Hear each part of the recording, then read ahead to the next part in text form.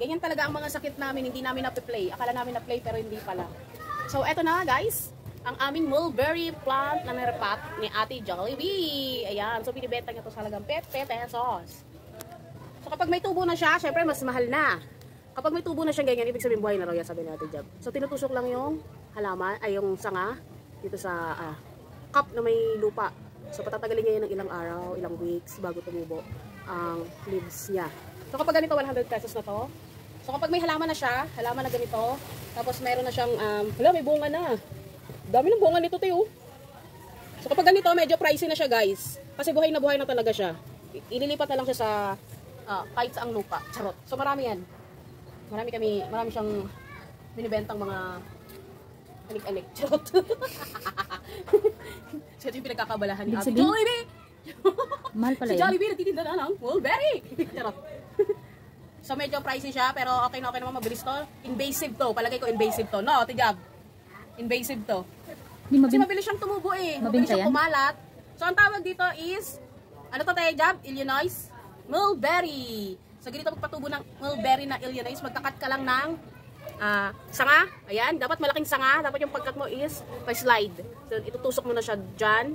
So syempre alagaan mo sa dilig-dilig. So hanggang may tumubo na siyang buds. Ayan, buds. Ayan. So, mulberry Illinois. So, invasive mulberry Illinois. So, ayan guys. Ayan lang. So, nagpagawa na ako ng thumbnail. Idediretso ko na. Oo.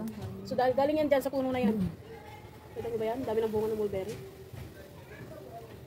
So, yan guys. Flex ko lang ang mulberry ni Ate Jollibee. So, maraming halaman dito. So, eto. Flex ulit natin. Aray, putang. Kati. Nabibenta ba yan? Oo, binibenta to. So, ito, buhay na siya. So, marami na siyang bunga.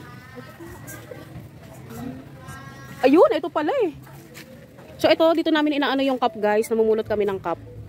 Pinupulot na natin, Jab, yung cup. At, so, namumulot kami ng cup. Yan, hinuhugasan, hinuhugasan. Tapos, nangunguha ng lupa sa bukid. So, ayan, ang dami ng mga repat.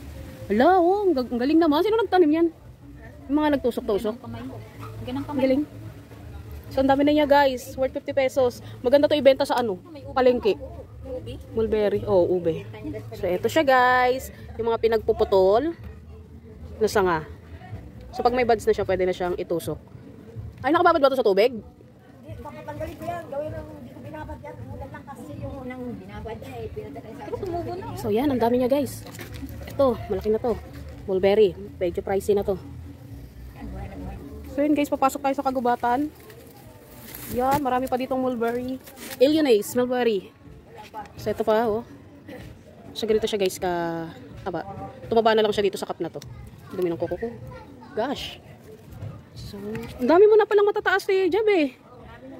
Wala, may bunga na siya. Ang galing. ang galing, may bunga na. Tingnan mo, ang liit-liit pa niya pero may bunga na. So, dito. So, ito pa. Ang dami nating mga repat na Illinois mulberry.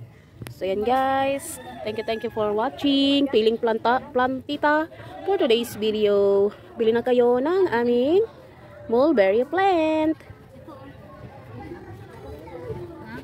Thank you for watching!